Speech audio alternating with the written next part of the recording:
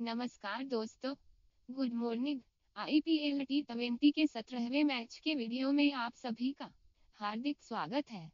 अब तक आपने हमारे लगभग 15-15 वीडियो हमारे YouTube channel C B T F Arnab के माध्यम से देखे हैं। सभी वीडियो का अपना अच्छे तरीके से फ़ायदा लिया होगा। जिन नए दोस्तों ने आज ही हमारा वीडियो पहली बार देख रहे हैं, वो हमारे चैनल को सब्सक्राइब करना ना भूलें। क्योंकि जल्दी ही दोबारा से फैक पैसे का जैकपॉट मैच आ रहा है। आप सबके लिए।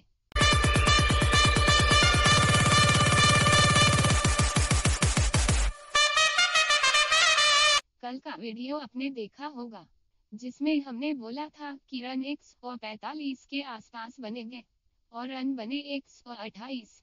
हमने अपने वीडियो में बोला था कि मैच सनराइजर्स हैदराबाद जीतेगी। और सनराइजर्स हैदराबाद ने एक तरफा जीत हासिल की।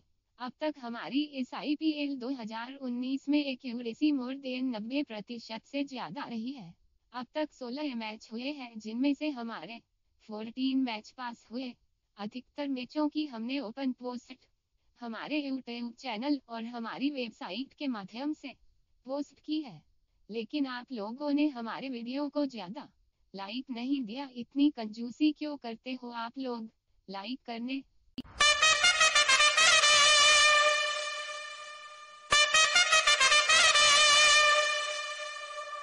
आज का match Calcutta knight riders versus royal challenger के बीच आज शाम को आठ बजे बेंगलोर में खेला जाएगा।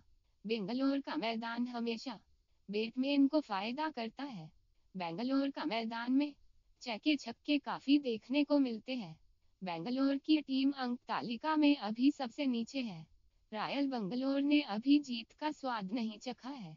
चार मैच खेले हैं बंगलोर ने, और उसे चारों मैचों में बुरी तरह से हार का सामना करना पड़ा है।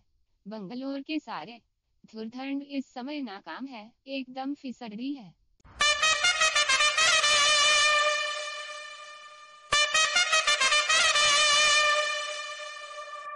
कोलकाता नाइट राइडर्स ने अब तक तीन मैच खेले हैं।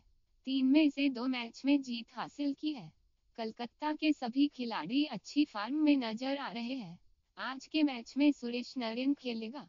जिन दोस्तों ने अभी तक हमारा चैनल सब्सक्राइब नहीं किया है, वो हमारे चैनल का तुरंत सब्सक्राइब करें। ज़्यादा से ज़्यादा लाइक करें जिसमें हम ज़्यादा से ज़्यादा ओपन पोस्ट डालें।